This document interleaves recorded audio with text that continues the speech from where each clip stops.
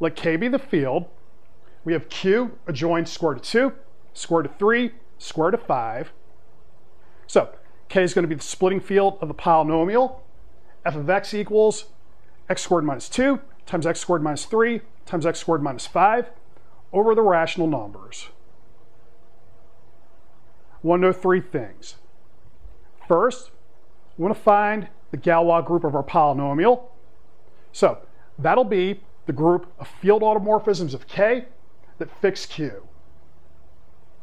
Then I want to find all subgroups of our Galois group.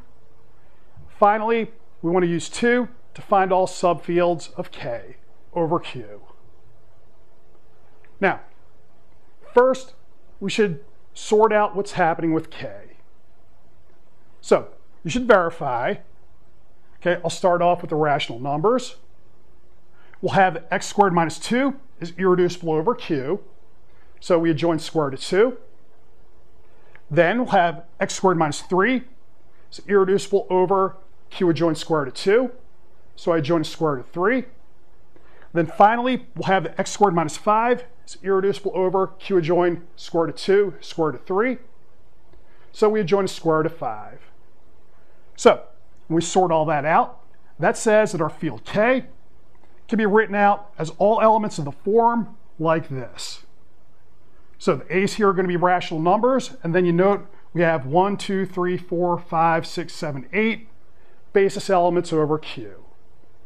So that means that our splitting field is going to be an extension field over Q of degree 8. First, let's find the Galois group of our polynomial. Now, K is the splitting field of our polynomial over Q.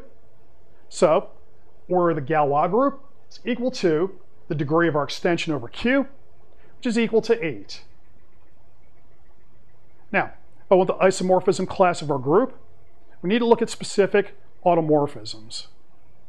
So, suppose we have an automorphism from K to itself, fixing Q. Since the elements of Q are fixed, we need only tell where square root of 2, square root of 3, and square root of 5 go. Once they're determined, the rest of our basis elements are also determined.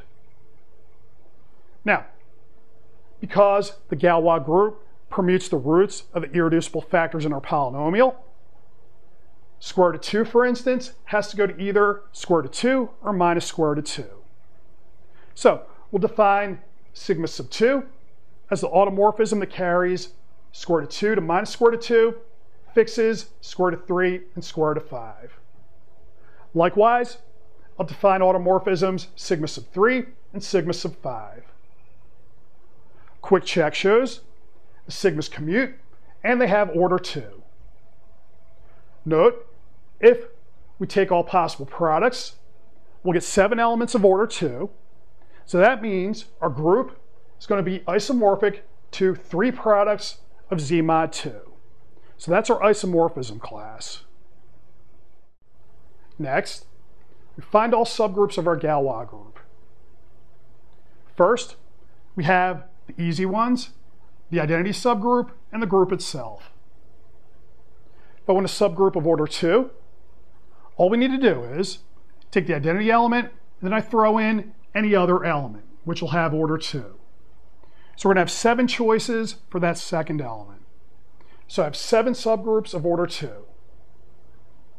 For subgroups of order 4, recipe we're going to use is going to be special to our isomorphism class. We take the identity element, I take any two elements that are not the identity, and then we take their product. So, number of ways I can get a subgroup of order 4 seven ways to choose x, six ways to choose y. That forces x times y. And then the number of ways I can order these three elements, 3 factorial or 6, so we divide by that. So I'm to have seven subgroups of order 4. Finally, find all subfields in K over Q. To do that, we'll use the Galois correspondence from the fundamental theorem of Galois theory. So we have splitting field K over Q. The Galois correspondence states if I have a subgroup H of the Galois group, I can assign that to a subfield of K over Q by just taking the fixed field under H.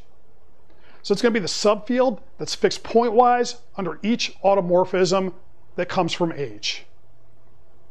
In the other direction, we have a subfield F in K over Q. Can assign it to a subgroup of the Galois group by just taking every automorphism in the Galois group that fixes our subfield F pointwise. So this is going to be how we find all of our subfields. Now, special feature of our Galois group, we have that G is abelian, so all of its subgroups are normal.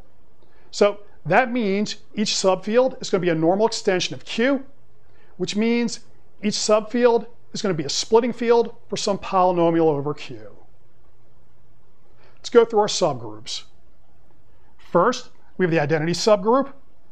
So there's only one automorphism here, sends every element to itself.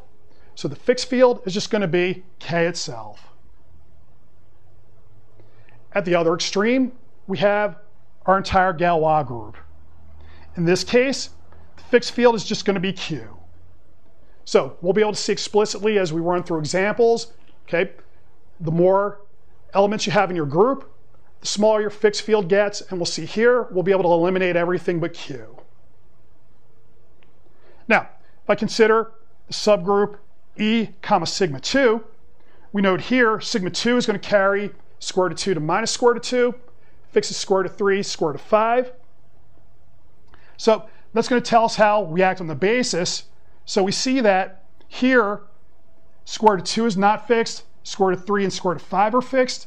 So the fixed field is going to be q adjoin square root of 3, square root of 5.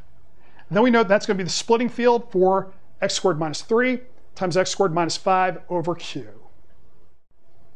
If we replace sigma 2 with sigma 3 or sigma 5, we can repeat our argument. Then we get three subfields for subgroups of order 2. Now, consider E comma sigma 2 sigma 3. Consider the effect of sigma 2 sigma 3 on our basis. So square root of 5 is fixed. Square root of 2 and square root of 3 are going to go to their negatives. So they're not in the fixed field. Then if we take their product, the negatives cancel. So square root of 6 is fixed. So we can adjoin square root of 5 and square root of 6. We check the rest of our basis. Square root of 30 is fixed, but that's going to be covered here. We repeat this argument for sigma 3, sigma 5, sigma 2, sigma 5. That gives us another three subfields for subgroups of order 2. For the final subgroup of order 2, we have E, sigma 2, sigma 3, sigma 5. So we check the effect of sigma 2, sigma 3, sigma 5 on the basis. Square root of 2, square root of 3, square root of 5 go to their negatives. So they're not in the fixed field. Take the product of any two, the negatives cancel. So they're all in there. Square root of 30 goes to its negative, so that's not in the fixed field. So we join square root of 6, square root of 10, square root of 15. But we note square root of 6 times square root of 10 is square root of 60. That's 2 times square root of 15. So we don't need to adjoin the last element. So that's our last fixed field for a subgroup of order 2. Subgroups of order 4, we're to have three cases so I'll let I, J, and K stand in for 2, 3, and 5, possibly permuted. For case 1, we're to take generators sigma i, sigma j. So the last element sigma i times sigma j. We know that's going to fix square root of k, where k is the index we're not using. Then I'll leave it to you to show that no other element in the basis besides 1 is fixed. So our fixed field is going to be q adjoin square root of k. So from that, we get three subfields for subgroups of order 4. Next case, I'm going to have generator sigma i, then we'll have sigma j times sigma k, and then the product of all three. Sigma i, okay, that's going to fix square root of j times k. Sigma j times sigma k, well, that'll send square of j, square of k to their negatives, but with the product they cancel out. So that's fixed under sigma j, sigma k. And then if we take sigma i, sigma j, sigma k, again, that fixes square of j times k. If we check on the basis, no other elements are fixed besides one. So our fixed field is going to be q adjoin square root of j times k. So we get another three fixed fields here. Finally, to have subgroup E, comma, sigma 2, sigma 5, comma, sigma 2, sigma 3, comma, sigma 3, sigma 5. Leave it to you to show. The fixed field here is going to be q adjoin square root of 30.